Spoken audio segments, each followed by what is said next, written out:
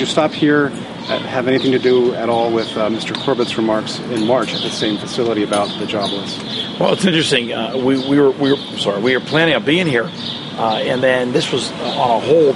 But I purposely did make sure I stopped here, uh, recognizing that uh, this was the place where he started to express his views on what he thought about the people that are unemployed, and it continued last Friday with, the, which I believe, pretty insensitive comments or uh, comments that shows that Tom really uh, doesn't get what's going on. Uh, he's kind of clueless on this issue, and how do you try to fix a problem if you aren't even sure what the problem is? You know, to me, to for him to somehow blame the person that's unemployed or suggest that an unemployment compensation check is going to create unemployment because people won't look for jobs. Know, just go through here.